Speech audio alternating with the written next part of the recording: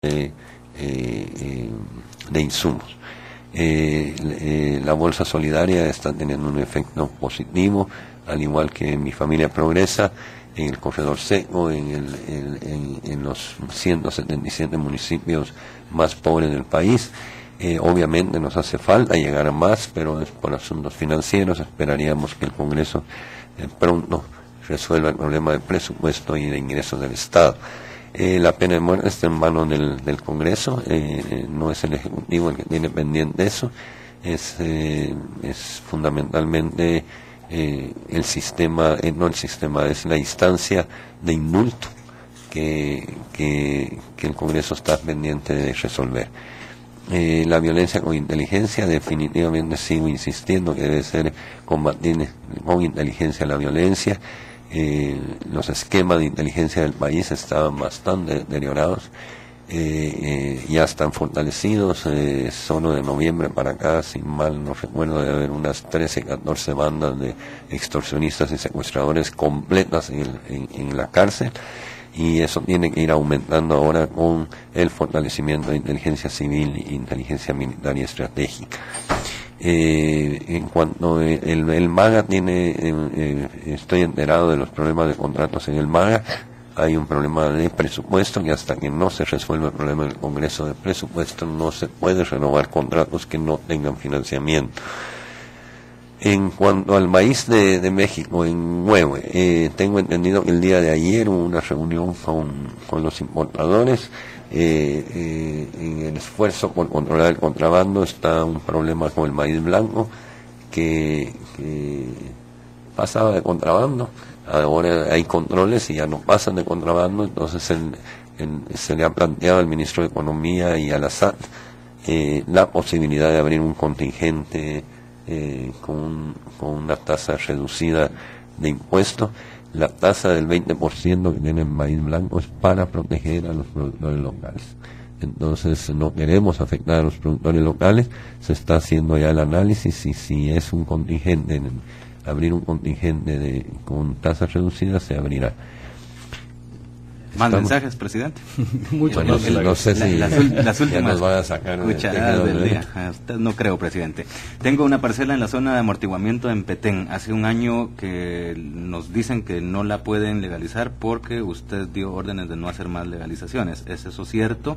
Nos preguntan desde allá de Petén. Javier Mendoza dice, buen día, presidente. Quisiera saber por qué su esposa no asistió a la reunión en el Congreso donde la citó una diputada. Karen Sandoval dice... Presidente, eh, buenos días. ¿Por qué a los agentes de las PNC no les ha aumentado el sueldo? José Soto dice, presidente, lo escuchamos en Santa Isabelita, Ixcán, y le quiere preguntar cuándo llegará la carretera. Esperamos su apoyo. Eh, otro mensaje que no tiene nombre, desafortunadamente, dice, fuera bueno que hiciera algo para que el alcalde de San Juan Zacatepeques eh, haga algo sobre eh, la basura. Es un tema importante que, creo que podríamos tocar. Y Claudia, gracias por su esfuerzo. Le agradeceríamos aquí en Misco si lograra persuadir al alcalde para que instale bombillas ahorradoras en calles públicas. Estamos en completa oscuridad. Muchas gracias, presidente. También nos pregunta un oyente, ¿dónde podemos acudir a reclamar nuestros derechos de las tierras antiguas? Ese es un tema que usted conoce muy bien y eh, le podrá explicar al estimado oyente. En Jalapa dice adelante con su plan de gobierno porque los que ya estuvieron en el gobierno ya no queremos saber nada de ellos. Presidente, somos tres hermanos, mi papá se quedó sin trabajo, nosotros estudiamos, podría ayudar a esta familia reinstalando a mi papá en el Infom. Gracias, no está el nombre, pero ojalá que eh, nos lo ponga. Gladys Ramírez eh, pregunta, eh, presidente, ¿qué decidirá sobre Perenco? Hay nombres de comisionados anticontrabando y lavado de dinero. Eh, manda saludos y eh, bueno, esos son ya los mensajes que hay, presidente, lo vamos a marear ahí. Bueno, eh, no hay ninguna orden para no legalizar el área de amortiguamiento, estoy, estoy muy bien enterado de todo lo que se está haciendo en, en, las áreas protegidas. aprovecho para informar de que hace, en estos últimos meses se han recuperado más de 30.000 hectáreas que narcotraficantes y, y, ladrones del ambiente habían destruido y ahora se han recuperado para áreas protegidas y vamos a seguir en ello. Eso ha sido un buen trabajo eficiente de coordinación entre CONAP, la gobernación de, de Petén y eh, todas las instituciones involucradas. Eh, eh, ¿Por qué doña Sandra no asistió al Congreso? Eh, miren, eh, es parte de la pregunta que decía la, la persona, es el respeto. Yo creo que eh, ya Sandra invitó a las señoras diputadas a platicar con ella en la Casa Presidencial. Y es curioso cómo se contradicen, porque yo vi ayer unos videos donde, donde desprotrincaban de que Sandra no era funcionaria. Ahora resulta que sí es funcionaria. Yo creo que primero se deberían poner de acuerdo entre ellos y, y con ellos mismos eh, para ver qué es lo que quieren, porque realmente a veces uno no entiende. Yo tengo ahí los videos donde eh, aseguran que no, que no es funcionaria. Entonces, ahora sí es funcional. Eh, eso es un manipulado politiquero, es impresionante.